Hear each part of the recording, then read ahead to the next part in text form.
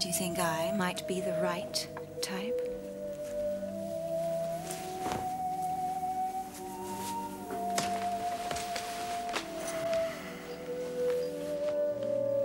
Perhaps.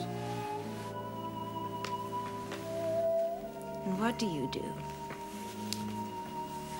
I had a job selling second-hand cars in Brighton on commission. I lost it two weeks ago. And what do you do now? But I'll tell you one thing. I don't intend to starve. Whoever else does. Well, I suppose there's always the dole. Oh, 17 shillings a week for a single man. Just about enough to buy you a decent shirt. Shame.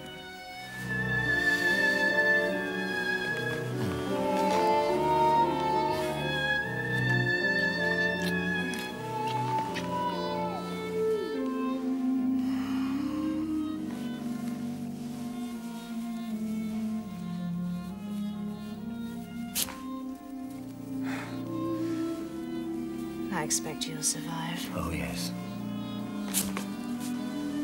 I expect I shall.